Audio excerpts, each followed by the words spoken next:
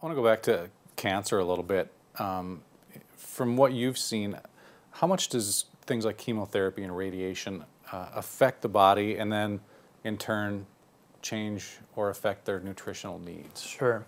We'll start with most cancers are very um, difficult on the body in and of themselves.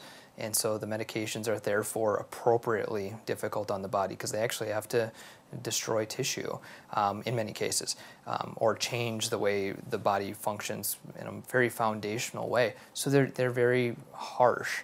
Um, with that said, some of the chemotherapies are you know heavy metal based and that has its own set of problems. The, the bout of cancer, going through cancer treatment, is a uh, struggle physiologically. Um, so it's it's fantastic when we can get them through that stage um, and then be able to kind of retreat them um, maybe a little bit different way. I talk about it in terms that patients really understand. Say, you know what? Sometimes there's the building got on fire and you got to gut it and we got to really do some major, almost more damage to some extent. And then you come in and you rebuild. And after you rebuild, then you can redecorate. Let's not redecorate when we're still in the rebuilding phase. You know, a lot of people, uh, I think, will start to look toward alternative treatments, especially if they've gone through that once. Do you see that and, and find people that have success with different cancer treatments? Yeah, and there's a lot of the natural treatments from a from an evidence informed perspective.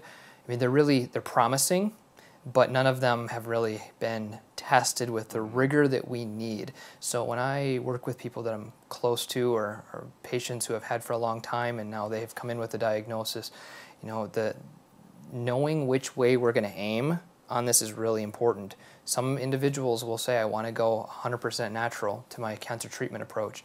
And I usually have to say, that's not the way I would probably go. You know, there's a lot of great things that have happened in conventional medicine. Let's try to use the best of both worlds. Let's talk and be open with our oncologist and our naturopath, nutritionist, chiropractor, anybody that you're working with. Be fully transparent about what your real wishes are and how you want this to go down. And let's start there.